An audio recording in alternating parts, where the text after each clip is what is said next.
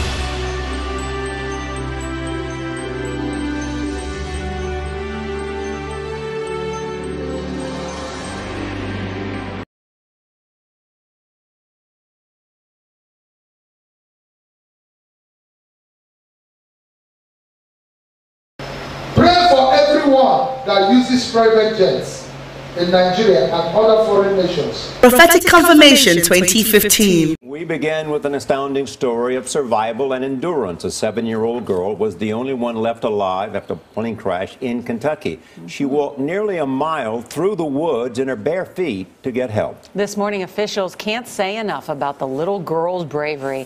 They say that she could help them understand why the plane went down. Adriana Diaz is in Kuttawa, Kentucky, near the scene of Friday night's crash. Adriana, good morning. Good morning. Behind me are the treacherous woods that seven year old Sailor Gutzler went through to find help. She was alone and in the pitch dark. This is the mangled wreckage site seven year old Sailor Gutzler managed to walk away from alive after the plane she was riding in crashed, killing her father, a former commercial pilot who was at the controls, her mother Kim, nine year old sister Piper, and 14 year old cousin Sierra Wilder. She believed that her family was, was deceased, uh, but she hoped that they were just sleeping. Kentucky authorities say Sailor used her non injured arm to free herself. Wearing just shorts and a t shirt, she trekked nearly a mile through a heavily wooded area barefoot in near freezing temperatures. She navigated briars and bushes. She navigated uh, significant depth ditch lines in order to receive assistance for her family. Eventually, the second grader spotted this porch light.